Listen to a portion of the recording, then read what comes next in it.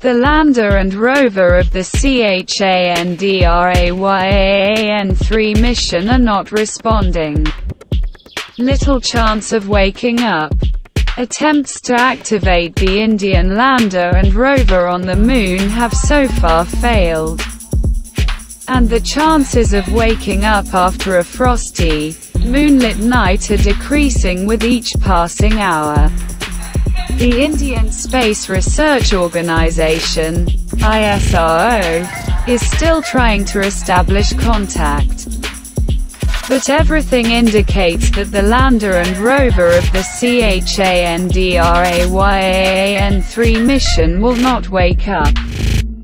In August, India became the fourth country to land on the Moon and the first to achieve the feat near the Silver Globe's South Pole. Since then, the lander and rover have conducted various experiments to measure the temperature at the landing site and analyze the composition of the lunar soil, stopping only briefly for a photo session. During the mission, originally scheduled for two weeks, Indian equipment detected sulfur, aluminum, calcium, iron, chromium, titanium, manganese, silicon and oxygen. Sulfur is of particular interest to countries venturing into space because it could potentially be used to produce concrete. In addition, the lander detected movement under the lunar surface.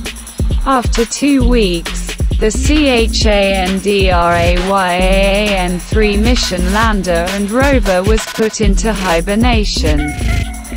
With the hope that after 14 days, day and night on the Moon last just over 14 Earth days, it would be able to return to operation. On Friday, September 22,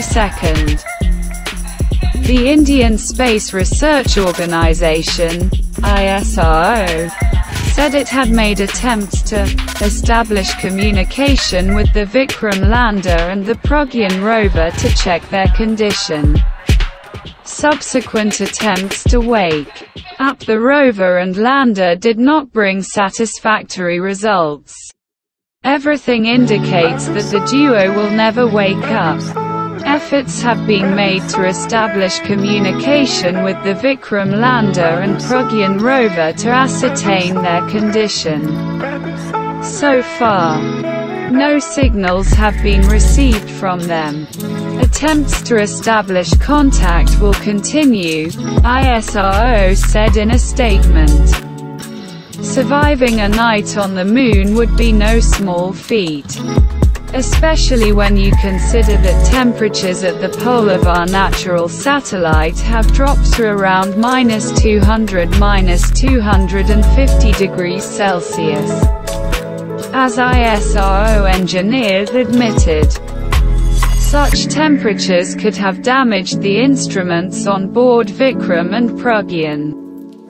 The lander and rover are part of the Chandrayaan-3 mission, which also has an orbiter orbiting the Moon. The lander is called Vikram, which means valor in Sanskrit, and the rover is called Pragyan, which means wisdom in Sanskrit. The name of the entire mission, Chandrayaan, means lunar vehicle in Sanskrit. The Chandrayaan-3 mission is India's third attempt to reach the Moon. The first Chandrayaan-1 mission was launched in 2008, but it was not expected to land. It consisted of an orbiter and an impactor and conducted the most detailed search for water ice on the Moon to date. She also made topographic maps of the surface of the silver globe. It lasted over a year and was an important stimulus for the Indian space program. The CHANDRAYAAN-2 mission, which was launched in July 2019, consisted of three parts. An orbiter, a lander and a rover. The Vikram lander was to land near the Moon's south pole and launch the six-wheeled Pragyan rover to search for water and other minerals. Unfortunately, in the last phase of the flight, just before touching the surface of the silver globe, the controllers of the CHANDRAYAAN-2 mission lost contact with the Vikram lander.